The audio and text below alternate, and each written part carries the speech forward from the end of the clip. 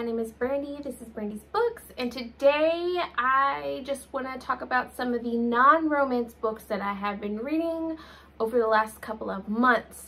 And um, as we are waiting for my tablet to load, I want to talk about this book right here, Kings of the Wild by Nicholas Eames. So I adore this book. I love this book. It is everything that I have heard people talk about and more. It's a wonderful book. I freaking love it. So, uh, what this book is about is essentially um, in like this this these group of men. They have lived their you know their heyday. They've had their prime time, right? And now they're kind of you know retired. You know they no longer you know fight monsters and all this stuff, and they are legends and it's all you know it's all good, right? So they've split off and um, they're all doing their own things. Well, uh, one day, one of our, uh, one of the bandmates comes to Mr. Clay Cooper and it's like, hey, my daughter's in trouble. Will you help me bring the band back together so that we can save her? And the story just goes from there and it's about them just trying to, you know, bring the band back together and um, get to this, get to the daughter um, whose name is Rose, uh, where she is currently in like a castle town type situation and it is under siege.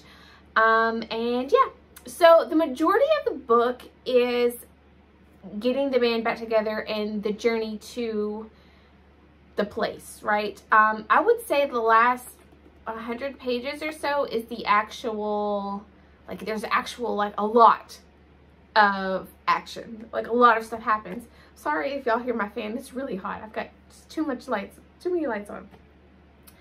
Um, but overall, it's a really good book. I love journey stories, um, especially because when it become when it comes to like stories that have journeys in them, it's usually at that time is when like character progression happens. Um, and you know we learn backstories and things about band and all that. It was really great. It was really great. I loved it. I believe I rated it five stars. Traitor God by ooh, Cameron Johnston. And I really liked the book, but I really kind of didn't at the same time. So this is about um, a man who purposely goes into exile. He exiles himself. Well, it, okay, so promises were made to him and he made promises and one of those promises was that he needed to essentially exile himself. And, um, well, one day he feels his friend die because they are connected in a certain way and he feels his friend die. And because, you know, there was a promise that was made to him that was broken at that point, he decides to break his promise and go figure out what happened to his friend, why his friend was murdered, um, and it just goes from there. So it was really good. It's a grim dark, I would say, um, or dark fantasy, whatever you want to call it. Think I gave this like four stars. I don't know. There's something bugging me as to why I didn't absolutely love the story. Because I loved the plot. The plot was really good. It, there were some twists and stuff. Um, the magic was good. The characters were good. The world was good. I don't understand why I didn't absolutely love this book. And I read this months and months ago, and I still don't know why. But there is a second book called God of Broken Things that I uh, that I own, so I'll probably give it a shot. But overall, still a really good book. I liked it. All right, I want to talk about Thousand Deaths of Ardor Benn. So I got about 300 something pages in and I DNF'd it. So, th and this is this the first book, uh, Kingdom of Grit, book one. So essentially, and there's no rating because I DNF this book. Um, essentially what happens is he is a con artist, a not a grifter, I wouldn't say grifter. Oh, what's that show? I'll, I'll have to remember that show and put it on here. But, um, and he, you know, he's asked to steal something and it just kind of goes from there and he has to like get a group of people together and yada yada yada i didn't like it i didn't like the world i didn't like the characters i did not care for the magic system and the way that the magic system like how you got the magic per se i i feel like this was more steampunk ish kind of I don't know. I just, I wasn't enjoying it at all. I didn't like the characters, didn't like the world. The plot was okay. Um, yeah, and that was it. So, no rating, but okay, the next book that I want to talk about is Senlin Ascends by Josiah Bancroft. So, if Alice in Wonderland was centered on a male protagonist with adult themes, that's this with tower climbing. I did not like Senlin's character per se. He wasn't a bad character, don't get me wrong, he wasn't a bad character, but his motivation was kind of honestly weak. I didn't, well, okay, so his motivation is him and his wife go on, or his, like, they're newlyweds, right? So they're going on their honeymoon, and they get separated, and it, this, the story follows him trying to find her. Like he's climbing the tower trying to find her. And I didn't, I don't feel, I didn't feel connected to either one of the characters to care. I did not care what happened to them. I, I didn't care if he found her or not. I didn't care if they were ever reunited, blah, blah, blah, blah, blah, right? Some of the shit that happened in this book, I was like, what the fuck? Who, like, were you on acid when you wrote this? Like, you were tripping balls, okay? And then, like, I also got the huge, huge, huge, huge, huge feeling of just unfairness just unfairness everywhere. um, and I just didn't, I don't care. Right, the next book that I want to talk about is The Southern, The Southern Book Club's Guide to Slaying Vampires by Grady Hendrix.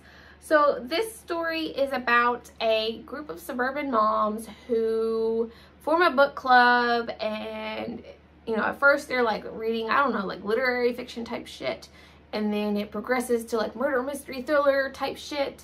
And then someone new moves in to the neighborhood. And they're like oh my god is he a vampire stuff like that and i don't know what the fuck that voice was but so and it just kind of goes from there um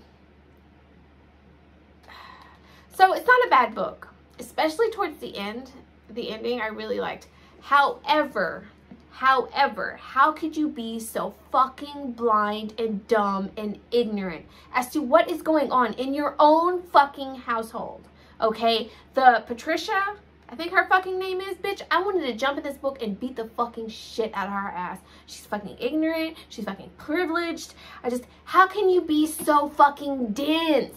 How can you be so fucking dense? I, again, I don't fucking understand it as a parent, as a how this is like like willful willful ignorance on her part Ch choosing you know what if she doesn't think about it then it's not real and i think that's why it, this isn't because i don't know this could have been a lot of things it, it deals with you know you know a, a bunch of fucking white women privileged white men women all of a sudden you know you know it doesn't bother them that well it, on some level it bothers some of them that these you know little black kids go up missing or you know they're killing themselves or you know other shit right? Um but it doesn't really they don't really want to talk about it because it doesn't really affect them in their personal lives you know what i mean but oh no as soon as something happens in their little white world their white you know wonder bread world okay um so i mean i, I get it but just just made me mad overall. It really made me mad and just fucking sad. Like how can you and I get that the times I forgot the times. When was this written? I don't know. It was like when it was like cool to be well not cool, but like it was like the norm to like the husband, you know, be at work work all the time. And the moms like stay at home and spend the husband's money and take care of their house and stuff like that. Um but yeah, I this book overall just made me mad and sad. So I don't know. I'm not keeping it, by the way. I'm not keeping it. The next book that I read um, is The Queen of Blood by Sarah Beth Durst. And in this world, it's like, it makes me think of like Tinkerbell and like little fairies and stuff. Um, but it's like little people, um, shoot, Fern Gully type thing. Um, where like the but instead of everyone kind of getting along like the the the, the wood creatures are trying to eat the little fairy people Um, and like there's in the, it's like very matriarchal. There's this one woman who has all this power to control these creatures. Um, and as her power starts fading, you know, they, you know, they kind of break free and they start doing, you know, this heinous stuff. And at that point, there's like some kind of competition type bullshit to see, to find the next queen. And I didn't like the book at all. It was fucking boring. Honestly, I'm surprised I didn't DNF. I don't know why I didn't DNF. I really, really, really wanted to like the book. I really liked the plot. Um, the characters were good, all that. Um, the fucking ending was a little bit gory, but I didn't care. I didn't care about it at all. I don't, I have the other two books and I, I don't want to read them. Uh, so I'm not going to. Sorcery of Thorns by Margaret Rogerson. I will forever be freaking Margaret Rogerson stan because after an Enchantment of Raisin, Ravens, I almost said raisins, oh my god. And this book, I love her writing. I love her characters. I love her worlds. I want to be a freaking Margaret Rogerson character, okay? Anyway, that being said, this is like my new like favorite author now. I will always forever buy her stuff and pre-order it and I love it. So this book is about a young woman who um, is trying to become a librarian. And in this world, like these books, there's like magical book, magical books. Some are very dangerous. Some are like, you know, really funny. Some are like serious and very studious, but the books are magical and it's freaking wonderful. Um, and then one night, one night, something happens and she gets accused of murder and this like follows her trying to clear her name and there's an adventure and there's a Bowie. Well, these characters are like older than teens. So I think, right? I think though, maybe 17? Shit, I don't know. I got like grown feelings, you know what I mean? Not grown, grown, not like 29, but like very, very early 20s, like 2021. Feeling from them, I don't know. Um, editing Brandy will like insert shit if she feels like it. Um, and oh my god, there's a demon that I absolutely love. Like I am a hoe for some sexy ass demons, some badass demons, some, you know, demons who like, you know, for so long they were a certain way, but after, you know, again, so, such a long time, you know, like they, they grow and they change and stuff like this. And the ending made me cry and then it made me like sad cry and then it made me happy cry. And I really, really love this book. I love this book so fucking much. It's five stars. I'm keeping it forever. Definitely gonna at some point reread it. Half the World by Joe Abercrombie. This is the sequel to Half a King, which I read and I tabbed that bitch up and I loved it. I loved that book so much. Yarvi. So this follows Yarvi, Father Yarvi, um, sequel to that book. And um, he is not necessarily the main protagonist in this book, but he is very much a center character in this book. Um, we do have a new protagonist, protagonist who, um, shit, what's her fucking name? Thorn. Thorn and she is trying to, you know, be fucking strong. And this is like Viking type shit. And, you know, like the shield maidens were a thing, right? However, like in this world, it's like women can be strong and fierce and they, and they can be fighters. However, like unless like unless in times of war, they're expected to like stay home and be like moms and take care of like homes and stuff like that. Um, but in, if like there's like a war or, you know, someone's in, invading them or whatever, then yeah, they're going to like pick up weapons and fight too. And I think to some extent, like they are given the option to learn how to fight, but is like to an extent, right? Once they get to a certain like, you know, I would say like basic kind of self-defense, like you stab here and they will die type, type thing. Um, uh, anything after that is frowned upon and it's like almost severely like punished. Um, you know, they are taught to not want to do that anymore, you know, to only go so far. Anyway, so this follows Thorn as she is becoming her, you know, coming into her own badass and badassness. Um, and I loved it. I loved Thorn. I I would I didn't tab the book because I just didn't feel like it. Um, and I it wasn't so I really I gave this four stars, five stars. I really, really, really enjoyed this book. However, it did not emotionally affect me as Half a King did. So that's why I didn't tab it up and all that. But I still really, really enjoyed this book. I'm loving this world. Um, half the world is, oh no, I lied. Half a War is next, and I can't wait to read it. So if anyone has been, you know, reading any of my freaking tweets last couple of months, I have really been in this weird mood to where I want magic in like a fantasy book. I want a magical fantasy book, not not a, you know, a book that has you know some where some select few can have this magic or the magic is dying out and like it's you know, touted as like a magical book, but there's like hardly any fucking magic in it, right? I wanted magic like out my bone hole, okay? I wanted magic every fucking where. Like, I wouldn't say super, super, super, super, super easily accessible to everyone, but to the point to where everyone is given a shot to access it, if that makes sense. I don't know. Anyway, so, and then I stumbled upon Lit RPG, and I'm dumb. I am so dense because I read, God, I read so much, what is it?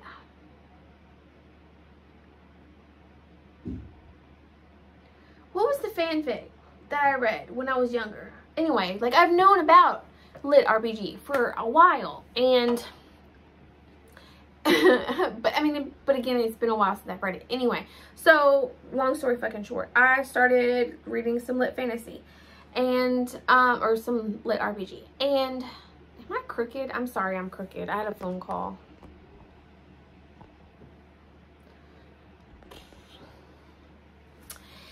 anyway so um who was it holly and jess i had heard talk about this book called Sufficiently Advanced Magic. And is it a it is a lit RPG um, tower climb type thing. So what happens is um, this brother is going to take the test because you have to like take the test to get like a kind of power type thing and then from there you can tower climb and get all these perks and all this other stuff and then like there's a mystery and some shit happens and blah blah blah, blah. trying to find his brother because his brother went into the tower and disappeared and usually that means they either they probably died.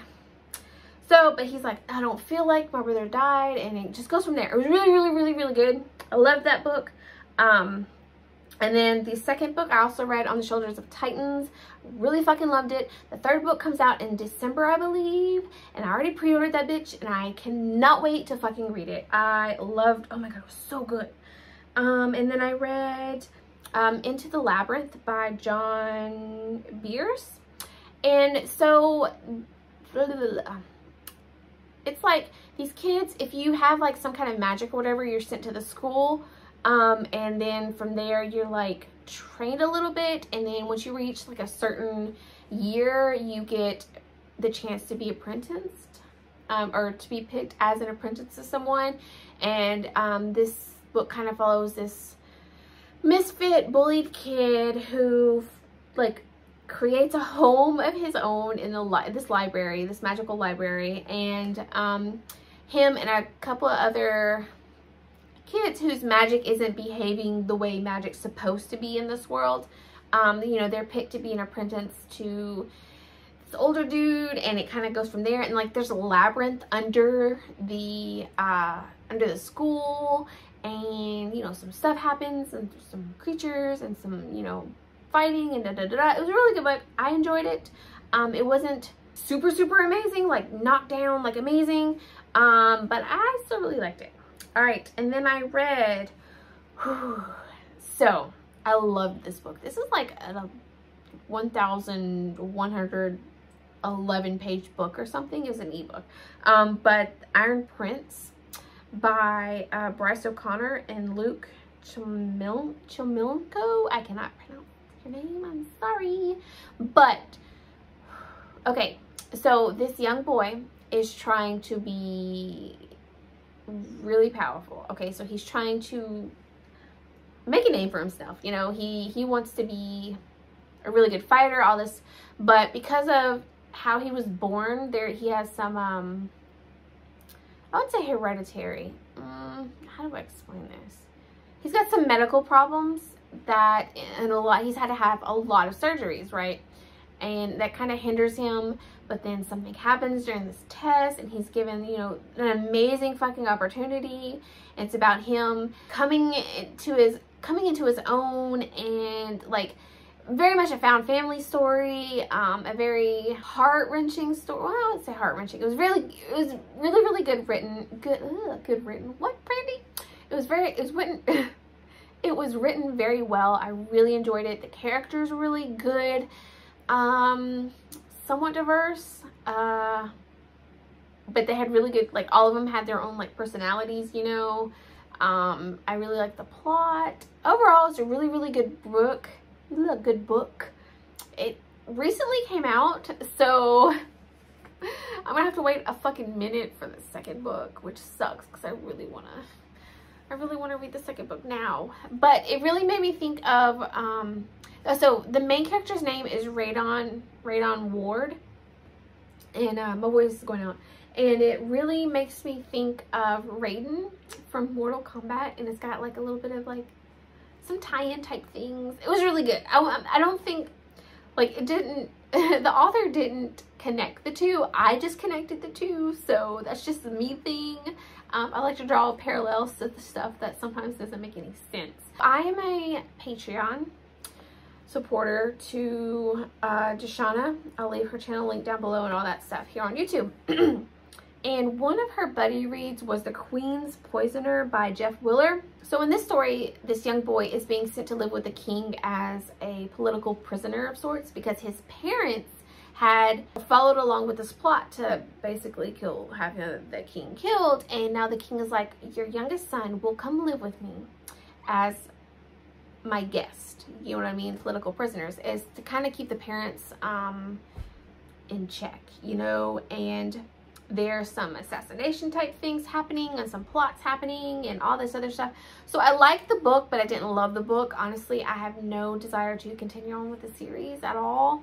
Um, it's just, it wasn't really gripping me. The magic was okay. The characters were okay um, a lot of flip-flopping in some instances. I don't want to like ruin it for anybody, but me personally, I just didn't really enjoy it as much as I thought it was going to. Don't forget to hit the notification bell, um, like and subscribe if you are not already subscribed. If you want to see, you know, so you can see more content from me because YouTube is being fucking assholes and yeah. Anyway, so that is it for this video. Thank you so much for watching and I'll see you later.